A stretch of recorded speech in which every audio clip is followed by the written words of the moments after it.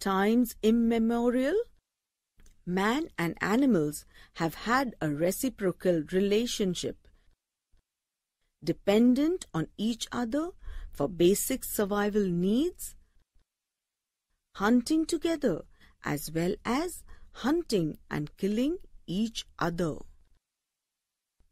There was a very close relationship between man and animals.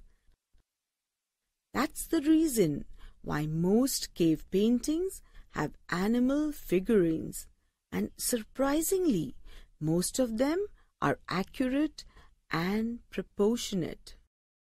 Use of animals Despite modern technology, many farmers, especially in our villages, still depend on bullocks to plough the fields. We get milk from cows, buffaloes, and goats. Many dairy products are also made from this milk. Even the cow dung is used in villages to line the floor and walls of houses. It is also used as fuel and manure. Even today, transportation by animals still exists.